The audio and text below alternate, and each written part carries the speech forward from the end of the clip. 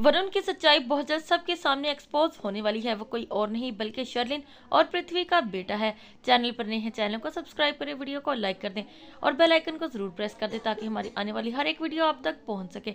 तब आपको बताते चलें कि अब यहाँ पर वरुण की सच्चाई आ जाएगी सबके सामने। तो बहुत ज़्यादा शौक रह जाएगा पूरा परिवार ये सुनने के बाद कि अब यहाँ पर वरुण कोई और नहीं, बल्कि उनके ही। अब यहाँ पर दुश्मन का बेटा, पृथ्वी का बेटा है।